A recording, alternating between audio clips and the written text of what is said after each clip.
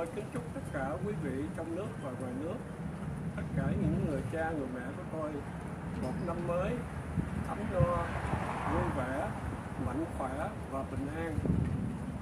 Nam mô a di đà phật.